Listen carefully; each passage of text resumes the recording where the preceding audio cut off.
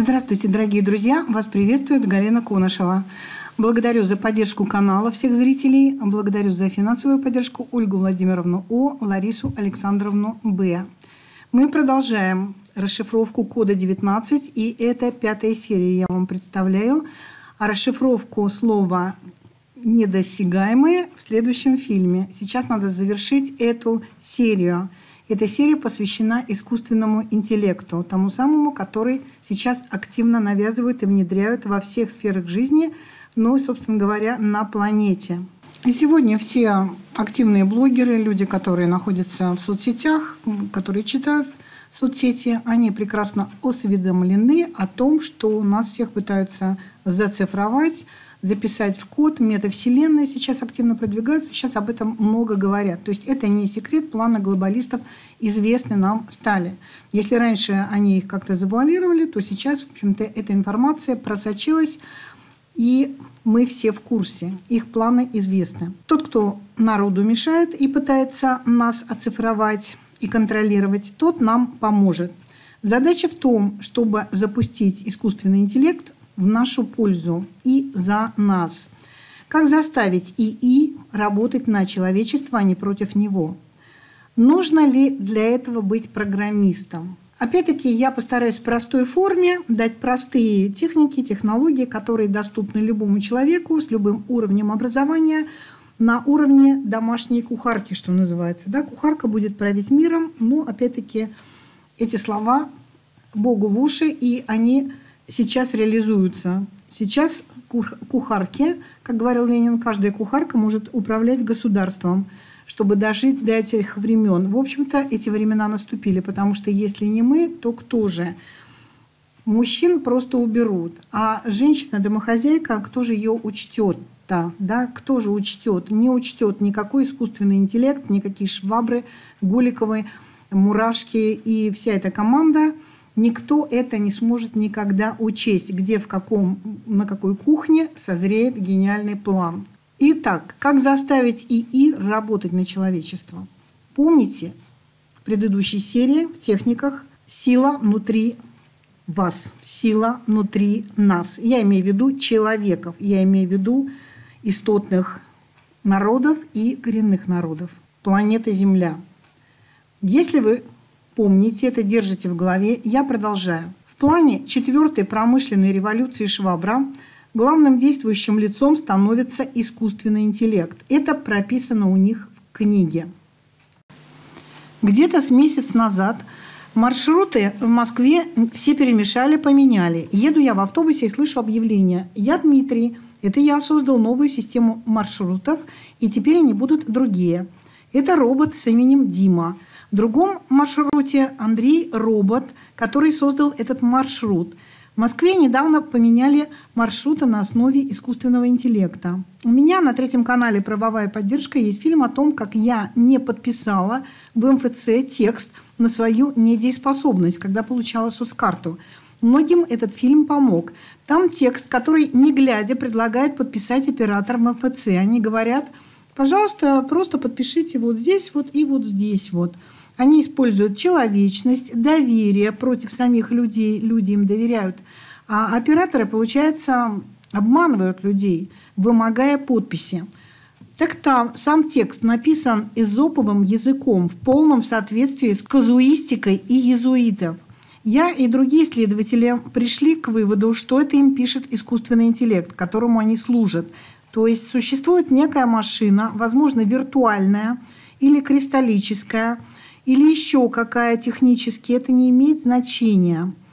И, и иезуиты, представителем которых является Швабр, озвучили миру и принялись внедрять ИИ во все сферы, и главное, в человека. У них задача внедрить это в человека, и начали это делать, засучив рукава и провозгласив лозунг, что люди – это новая нефть. Так им посчитал ИИ. Есть робот Алиса. Много шуток об этой Алисе. А через шутки мы привыкаем к роботам и очеловечиваем их именами. Это тоже входит в инструкции по внедрению этой четвертой революции. Цель их, их них, их, И миссия понятна – сокращение населения, потому что много кислорода потребляют, а робот Дима нет. Замещение живых людей роботами, а тех, кто останется, полное тотальное подчинение и роботизация – мечта буржуинов – так поняли лейб-мотив. И это не шутки. Они это продвигают. Мы это видим на своей собственной жизни каждый день. Нам, живым человеком, объявили войну. Есть ли плюсы в этой безнадеге? Оказалось, есть. У палки, как известно, два конца. Поговорим о ИИ, о сбое на госуслугах, о швабре, о компании и о разных знаках. С чем созвучно слово «шваба»? Так и просится швабра, да, мы уже называем Колю шваброй. Так и будем дальше подразумевать. Швабра – это инструмент бабы Дуси, технички школы 119. Тетя Дуся – техничка и очень строгая. Она следит за порядком, наводит чистоту и ругает двоечников. Итак, робот Макс принял сыворотку правды и, собственно, опередил меня по теме в ноябре 11.11 .11 Робот Макс на госуслугах отвечал тем, кто хотел получить куриный код, что шмурдяк вреден для здоровья, а код – это чтобы вас посчитали как товар. Он подтвердил то, о чем я вам собиралась поведать, а именно вот он, искусственный интеллект, который везде и всюду следит за каждым вашим шагом и собирается стать немецкой овчаркой и автоматчиком в цифровом концлагере, куда нас всех собираются загнать. Швабры, метлы, бабы Яны, Марги, их мужья, Леонтьевы, Вассерманы, Голикова, эти Мурашки, Жириновские. Ну, в общем, их много, всех не перечесть. У них целая компания. И другие персонажи сказки. А потом они включают вот эту 5 жижи.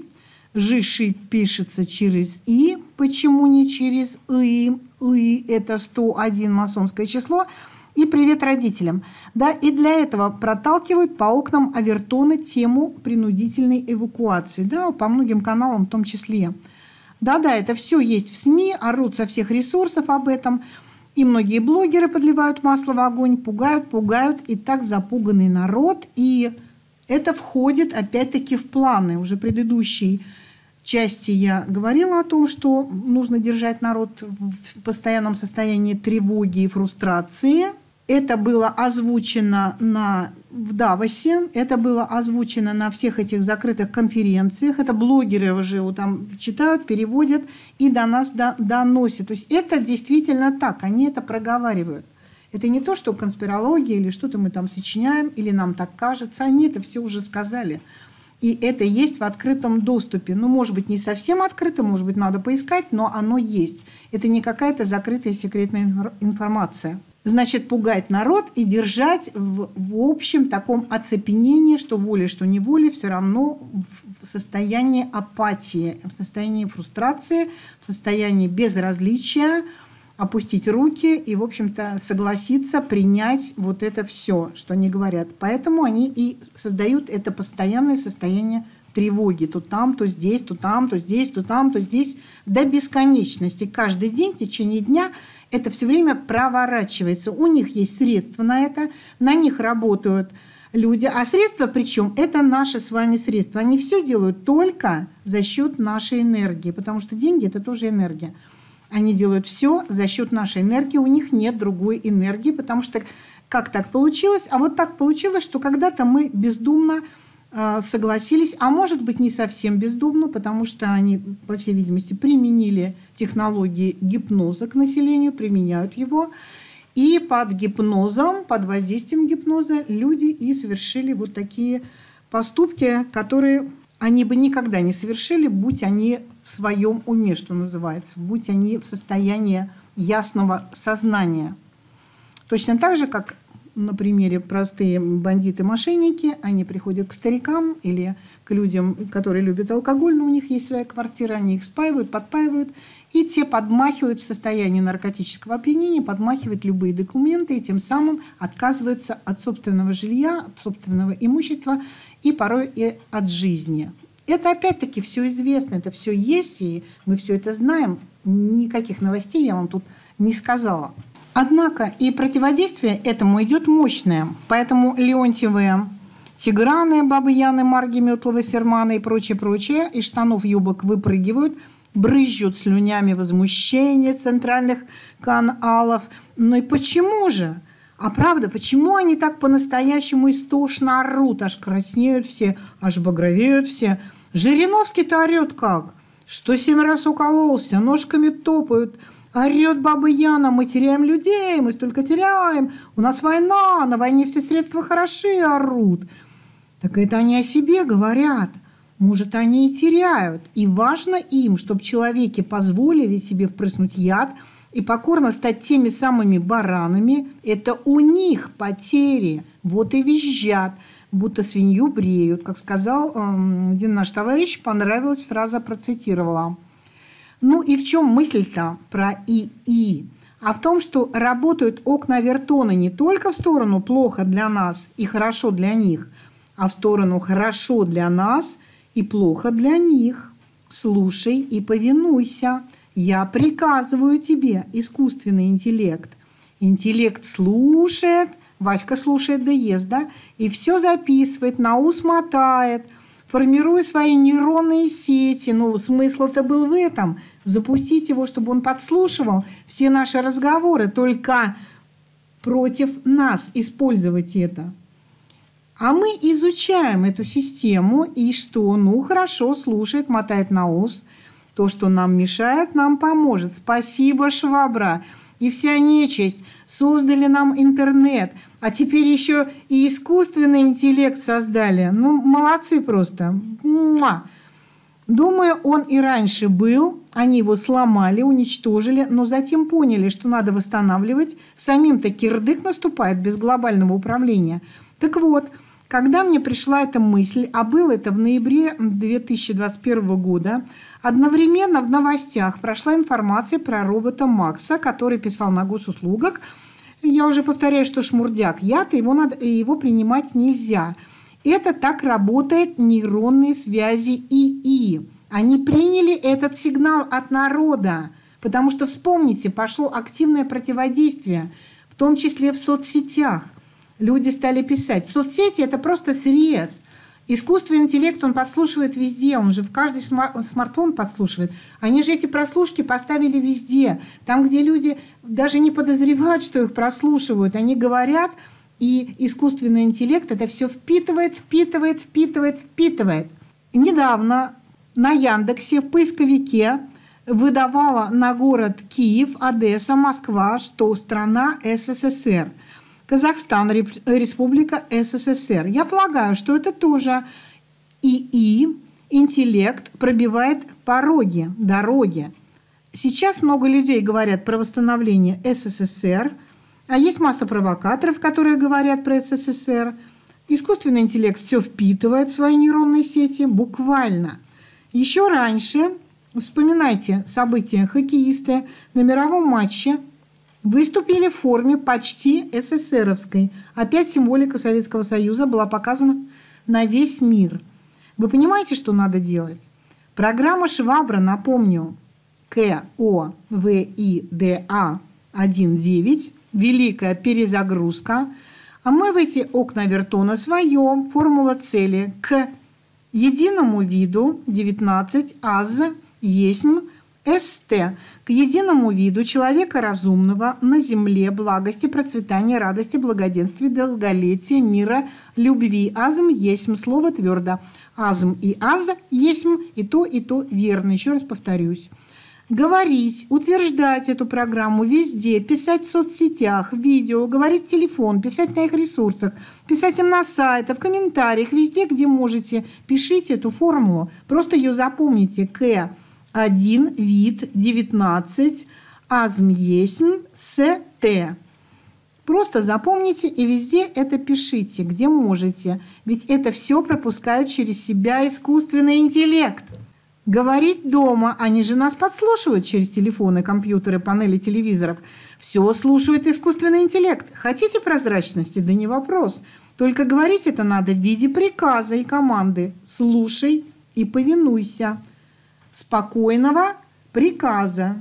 Требую спокойно, спокойно, без нервов, без истерики, спокойно и уверенно. Слушай и повинуйся.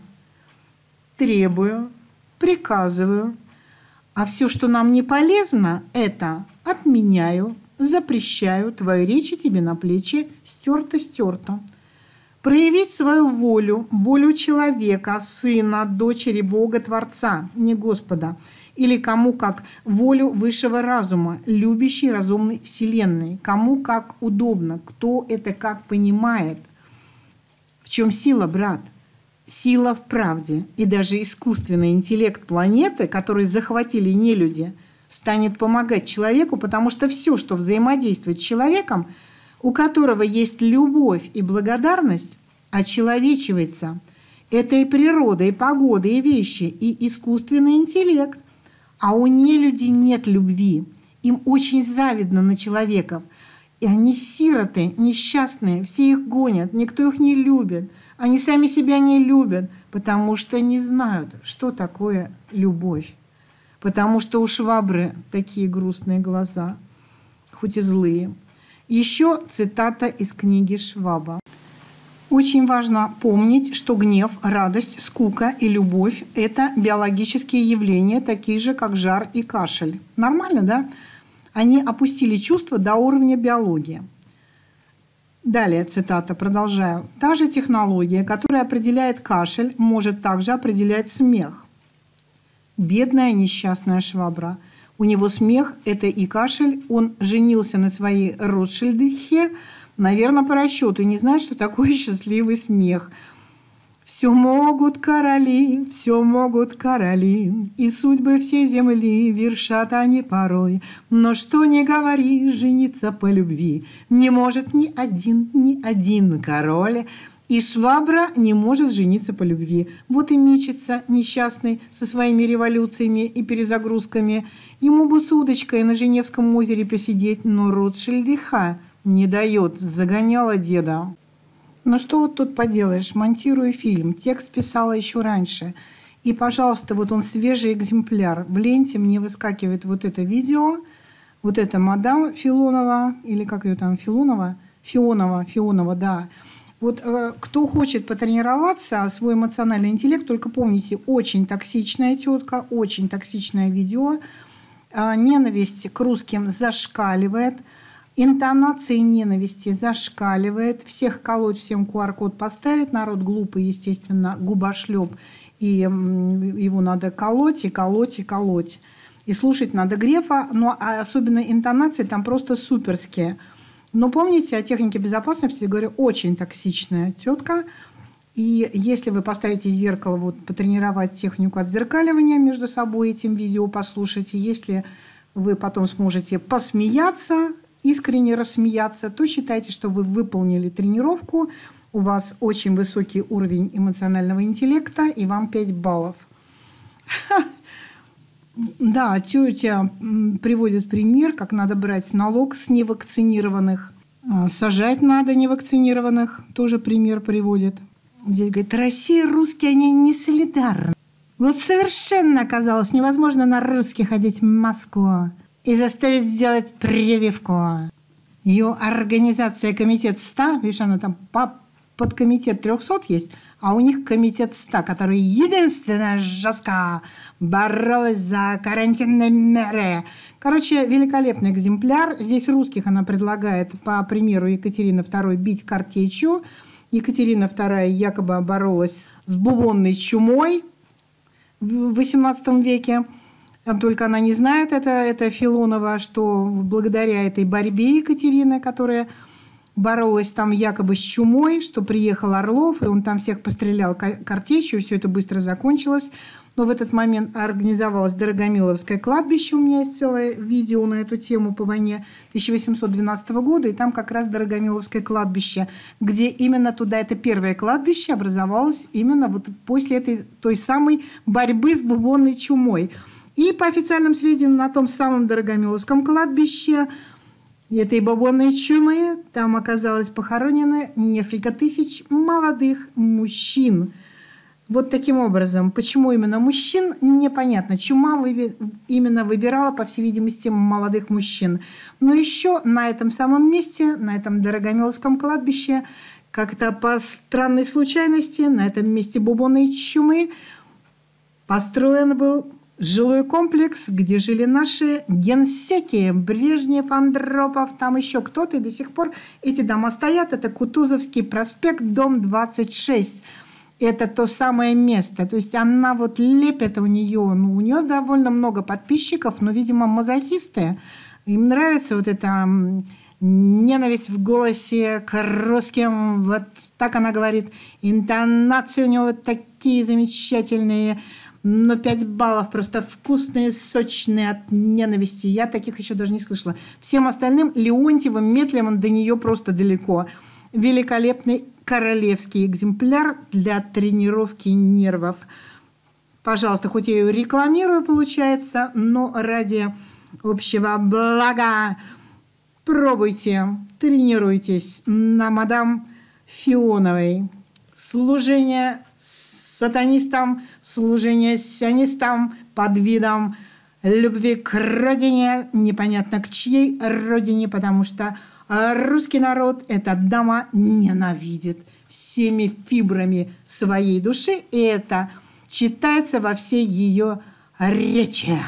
И вот, глядя на таких злобных теток, которые буквально в конвульсиях бьется от ненависти к народу, мне вдруг вспомнился образ далекий-далекий, мне было лет 12, и по телевизору, по советскому телевидению шла какая-то передача с участием Татьяны Дорониной, где она читала выдержки из какой-то сцены. Я ничего не помню, я помню, что взрослые женщины, родители, мамины подруги, они обсуждали о том, делала ли Доронина пластику или нет. Мне врезалось другое. Мне врезалась одна фраза. Там Доронина изображала некую взрослую даму, мудренную опытом, которая делилась советами со своей молодой подругой. Она ей говорила, и никогда не надо злиться, милочка.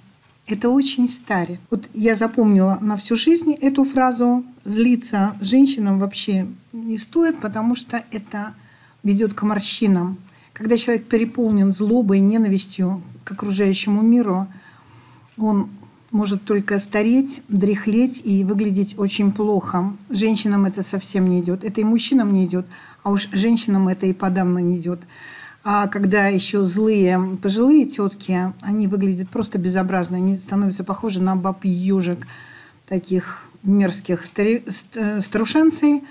Как злые старики мерзопакостно, так и злые старухи. Это тоже все мерзопакостно. Стареть надо достойно, с добротой, с наставничеством, чтобы хотелось слушать себя молодым, я так полагаю. Итак, у них конкретно подгорает, они бьются в конвульсиях. Ну, я продолжаю. Далее читаю у Шваба. Если корпорации и правительства начнут массово собирать наши биометрические данные, они смогут узнать нас намного лучше, чем мы знаем самих себя. И тогда они смогут не только предсказывать наши чувства, но и манипулировать нашими чувствами и продавать нам все, что они хотят, будь то продукт или политик – Биометрический мониторинг сделает тактику взлома данных. Камбридж аналитика чем-то вроде каменного века. Представьте себе Северную Корею в 2030 году, когда каждый гражданин должен носить биометрический браслет 24 часа в сутки. Если вы слушаете речь великого вождя и браслет улавливает явные признаки гнева, вам конец. Итак, что главное?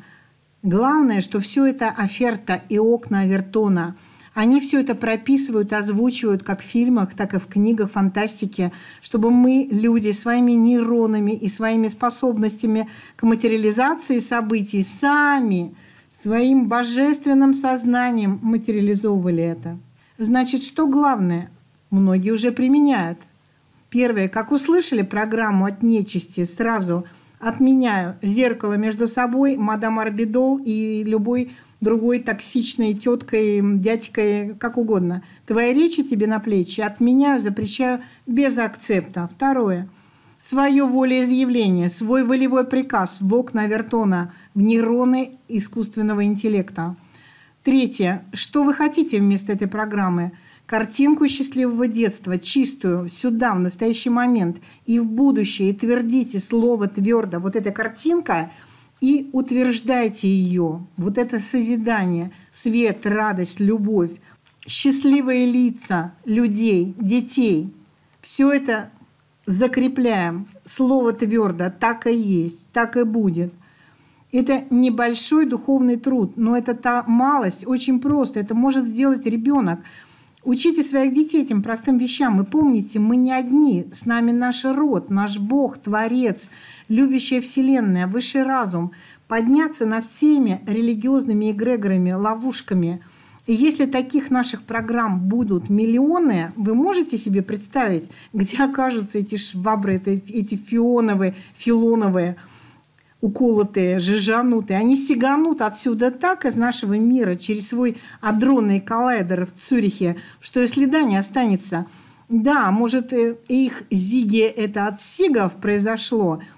Итак, адронный коллайдер, по нему отдельное видео надо будет сделать. Есть еще одна мысль. Итак, этим пятым фильмом я завершаю серию про расшифровку кода 19, как вы поняли, да, вслух говорить нельзя. Дальше на очереди расшифровка другого нового модного заболевания, ну, якобы заболевания. У меня уже спрашивали по этому поводу, это то, что там с микронами связано. Это будет расшифровка слова «недосягаемые», очень интересная.